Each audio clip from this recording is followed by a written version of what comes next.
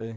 إيه حكايتك؟ لا ما رمضان؟ علقتش على ما علقتش؟ ما علقتش صغير طيب أنت بقى إيه الماتش اللي أنت فاكره في رمضان كويس قوي أه هقول لك على ماتش صعب قوي يعني. كان آه. الزمالك وكانوا نيويندي نهائي كأس الكوسة أفريقية 2000 الزمالك كان كسبان 4-1 آه، وكانت البطولة دي المفروض يعني إنها مؤهلة كاس العالم للانديه لكن إحنا عارفين إن كل حاجة في الدنيا بتتغير تمام؟ فالزمالك كسبان 4-1 ورايحين نلعب. والدقيقة 80 ورايحين نفطر بقى وبتاع وخلاص يعني فاضل 10 دقائق على الفطار تقريبا والزمالك فاضل 10 دقائق واخد البطولة.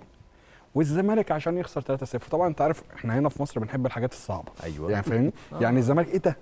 أكسب أول ماتش كده واخد 6 point واسع كده من مجموعة سهله يا كده جدع؟ إيه ده؟ إزاي يا جدع؟ الأهلي كده أخسر خمسة والتاني يبقى في إيده فيضيع ضربة الجزاء وأجيب ال- الحاجات دي إحنا بنحبها بنموت, في ال suspense.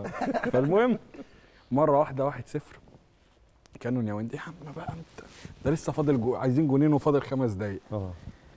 خمس دقايق مش فاكر مين في الزمالك حط جون في نفسه. بقت 2 0 وفاضل خمس دقايق. قعدنا آخر خمس دقايق دي. يا رب. طب الماتش كان صعب جدا جدا. وأنا كنت كان خلاص كنت شايف إن الزمالك لو قعد يعني شوية كمان هيدخل جون ثلاثة وكان بالنسبة لي صعب أنا الماتش ده عمري ما هنساه في رمضان. خالص. لا لا ما عرفتش أفطر يوم. يعني حتى لما كسبنا؟ عرفتش أفطر. ما حسيت إن أنا عرفتش. خلاص الموضوع. شبعنا خلاص.